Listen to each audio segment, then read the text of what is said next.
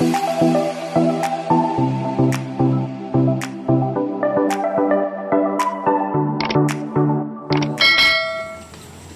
mga tropa, naglaban sila ng ano, Saibet. Sila-sila lang. Ayan yung mga player. Sila-sila naglaban. Taga mga taga San Pablo, Libutan. Wala yan, te. Wala. Taga San Simon din sila. Ayan. Naglaban-laban sila. ano yun. Bantayan. Papasukat pa lang sila bukas. Mga 20, 20 katao kamo. 20 katao. oh, 20 katao susukatan natin bukas. Abangan nyo na lang sa ano natin. YouTube natin.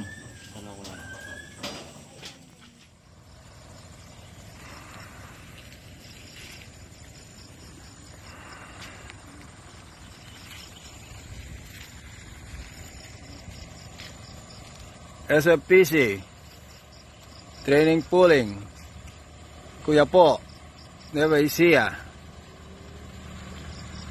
610, release.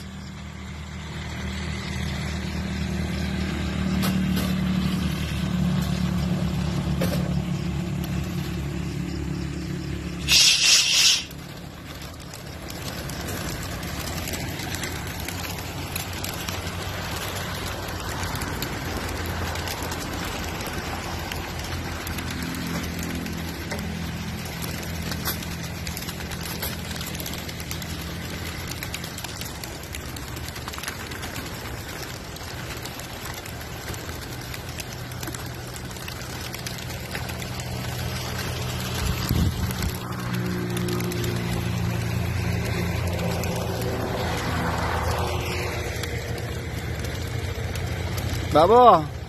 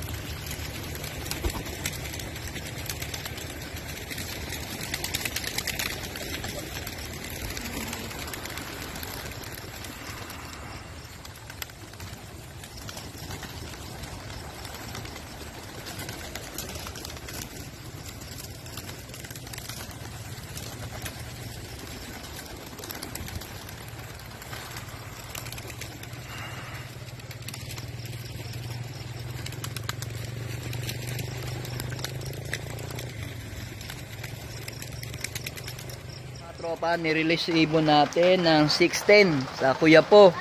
Kaso, ismas to sigurado. Umuulan mga katropa oh. Ayan oh, umuulan pa siya oh. Wala pa umuuwing ibon. Alas 7 na. Ayan, ang ulan. Super smash to. Pero doon sa pinag-releasean, wala namang, wala namang ulan. Medyo kulimlim lang. Kaya, ang mangyayari nito, patibayan ng ibon,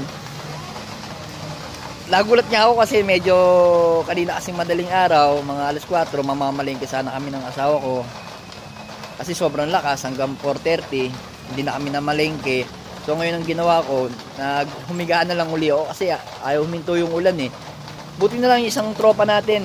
Shoutout sa iyo, Brian Calma ng ano, ng San Luis. Tinawagan niya ako, mag alas 7, sabi niya, pare, nirelease yung ibon natin ng Kuya po. Nueva Ecija, sabi ko, ha? Nirelease? Napa, napabay, napabaligwas ako tumayo kasi nga, alas 7 na. Sabi ko, putang na, nirelease. Napalabas ako pero pagtingin ko sa labas, eto nga, ganyan nga kalakas yung ulan. Yan, yan no. Medyo ngayon, tikitik na lang. Pero, kanina, malakas yung ulan talaga. Non-stop talagang dire-diretso. Kaya ngayon, bubuksan lang muna natin yung loop natin kasi nakapadlock yun. Baka biglang lumusot, mahirapan tayo, ha? Puntaan muna natin. May dumating tayong isa. Grisel. Nakalaban sa tag team.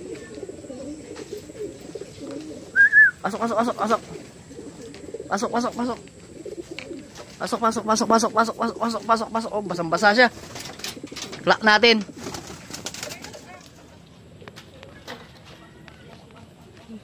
Nadak. Abay, nag, ah, nag, ah, bibidyo na ako, video ka rin. Ha? Video mo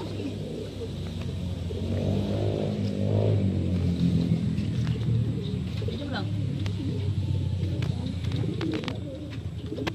Sayang, off color sana to. Sabi ko na, lulus itong grisel na to eh. Kahit smash eh. Saan? Sino ba? Sino? Nadapa pa ako sa ano? 16 1608 41 30 1608 41 30 Tanggalin natin para hindi ano, tapos na tong karera dito sa eh. Kaya lang no, i-video natin yung ibon.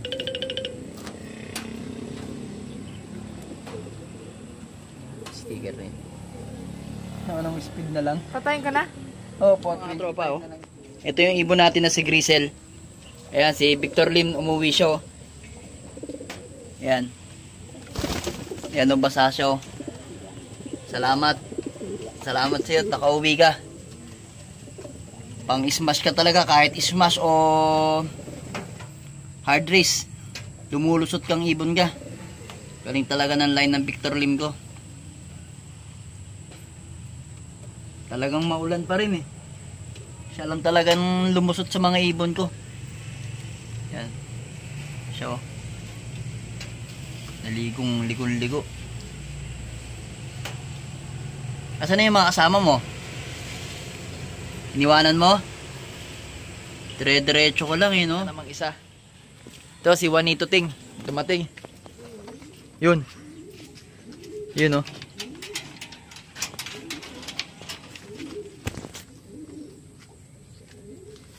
Ito. Ayan, umiinom siya. Ayan, si Juanito Ting dumating. Tibay mo talaga, Will. Juanito Ting. Ayan siya, umiinom.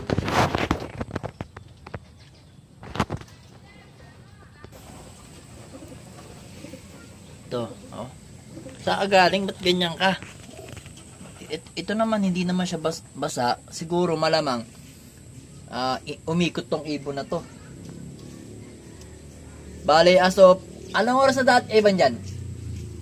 10.27. As of 10 to 27, ah, dalawa pa lang yung ibon natin. Si Juanito Ting, tsaka to si Grisel. Ayan, si Victor Lim. Ayan, magpapakain na tayo maya maya. Ayan. As of 10.39, may dumating tayo si ano, Tensil Kikay. Ito. Yan. Dumating na siya. Habang nagpapakain tayo sa mga winter natin. Yun. Ito, nagpapakain ako sa mga winter natin, oh. Yan. So, ngayon puntahan natin siya. Ano nangyayari sa kanya.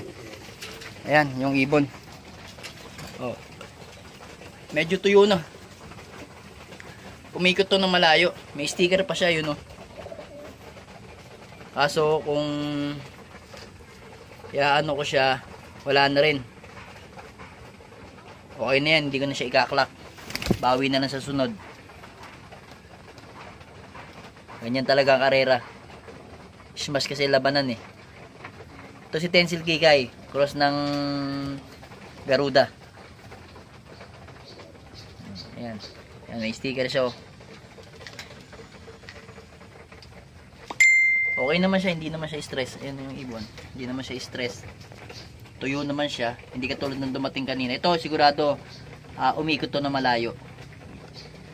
Bago siya umuwi. Inikutan niyo yung area ng ano.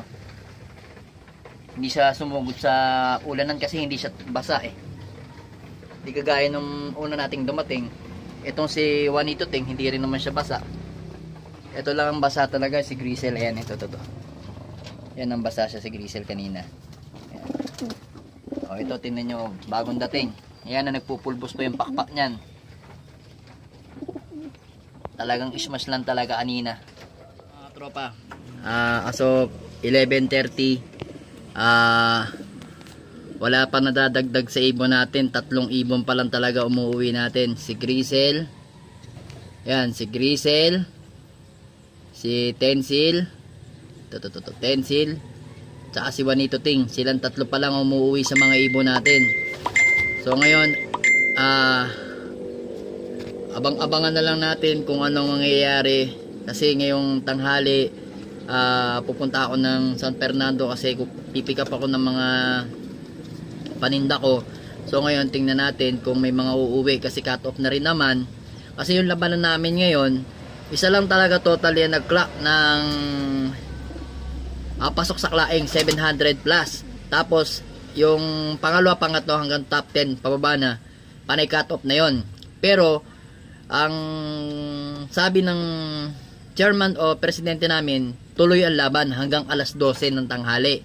Kasi nga, sobrang lakas ng ulan, ismasyan. Hindi naman ini-expect ng lahat na may lulusot na isa. So ngayon, ah, sabi, total malapit pa lang naman, at saka hindi naman tayo seryosohan na talagang ah, regular season. Kumbaga, pagbigyan natin yung iba. Kasi sigurado, walang mananalo sa may naman nanalo sa pooling paunahan. Pero yung tag team, trio, of color, winner take all lang 500, winner take all lang 1,000. Yun yung ano, ah, inaabang-abangan para kahit pa paano nga naman hanggang alas 12, mas exciting yung labanan. Kumbaga, talaga maghihintay, mag-aabang-abang ka ng ibon mo na darating. Kasi, syempre may laban ka. Pero, as of now, may nanalo na sa pooling, ah, sa pooling, tsaka sa tag team. Tapos sa 500 tsaka 1K ata may nanalo na rin. Bali, trio na lang yung inaabangan kung sino mananalo. So ngayon, hindi ako nag-entry ng trio. Kasi yung ibon natin na isa is nagbunot na naman ng pakpak. Kaya, hindi ko mailaban ng trio kasi yun nga, yun nga, si si Beckert na itim, yung, si Pasaway, si Beckert na black check, hindi, hanggang until na wala pa rin. Pati yung Beckert na si Sasuke, wala pa rin siya. So ngayon, as of sa sampung inilabang kong ibon o sinakay, ah tatlo pa lang ang umuwi ko. Bali, pito pa ang nawawala ako sa mga ibon na hindi pa umuwi. Pero, huwag kayong mag-alala, may posibilidad naman umuwi yung mga yon Kasi, ah, malapit pa yung uwian, talagang ismas lang. Malamang, umikot yon umiwas sa ulan. Mamayang hapon siguro, ah, uuwi na yung mga yon Kasi hindi talaga natin masasabi yun eh. Ganon talaga yung labanan. Ah, ang labanan natin ngayon is hindi summer, hindi init.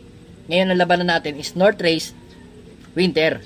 So ngayon pag sinabing North Race Winter, asahan mo yun maulan. So ngayon, doon sa pinag-releasean natin ng ah, club natin sa SFPC sa Kuya po is maganda panahon. Nakita nyo naman sa video na maganda panahon. Medyo makulimlim din konti pero maliwanag, hindi umuulan. Siyempre, anong gagawin ng convoyer o kaya ng ah nagta-travel nung mga ibon natin? Siyempre, maganda panahon sa lugar na yun. Eh. Alangan naman hindi natin pakawalan. Eh, masama panahon sa Pampanga. So ngayon, ang mangyayari nun, patibay ang palusutan ng mga ibon. Ganun po ang labanan talaga. Pagka sa release point at maganda panahon, kailangan i-release yung i-go nila yung ibon. Kasi kung hindi nila i-go-go yung ibon, lalong mas mahihirapan kasi tatanghaliin na release yung ibon. Tatanghaliin sila, mas lalong magugutom, may stress na sila, kaya kailangan pakawalan ng ganong oras. Pinakawalan natin ng ibon, ah, pinakawalan yung ibon ng 610. So ngayon, yun nga, hindi tayo pinalad. Pero, etong, tens, itong Beckert natin na to, ni Grizzle na to, ah, pan 30 pa siya. O, hindi. Kasi may mga double clacking eh. Siguro pang, ah, pang 27, 27, 27, 28 place na lang siya. Pero kung inilaban natin siya sa off color, champion siya. Pero sa susunod sa derby natin, lalaban talaga natin itong off color. Pang off color talaga to eh. Ito talaga, bet na bet ko to pang off color. Talagang panlaban talaga to. Mapa hard race o mapa smash. Sigurado lulusot at lulusot tong ibon na to. Tong ibon na to. Masyado nga lang siyang mailap. Tingnan nyo, ayan o. Ayan, oh. oh. Yo, gusto niya umalis kagad sa pwesto niya. Ayaw na ayaw niya. Maselan siyang ibon. Ayaw niya na ayaw na mahawakan, nalapitan. Masyado siyang mailap. Hindi katulad nito ni Tensil, tsaka ni Juanito Ting. Kahit na ilapag mong kamay mo, yan, ganyan-ganyan lang sila, oh.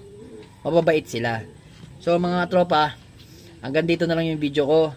Ah, sana, kahit pa paano, nag-enjoy kayo sa panonood kasi talagang napakahirap po talagang pauwian ngayon. Pero di bale, sa August 1, derby na natin. Ah, lalaban tayo ng ano nun, derby. First lap, Karanglan. Karanglan, Nueva Ecija ata yun, oh. dulo na ng, ng ano yun, ng Nueva Ecija. Tapos susunod no second lap, ah, Rosario La Union. So ngayon, doon na lang tayo. Baka sakali doon tayo makabawi. Okay lang naman yung nangyayari ngayon. Talagang ganun lang talagang ang pag-iibon. Asahan natin, may nawawala. At hindi na talaga umuwi.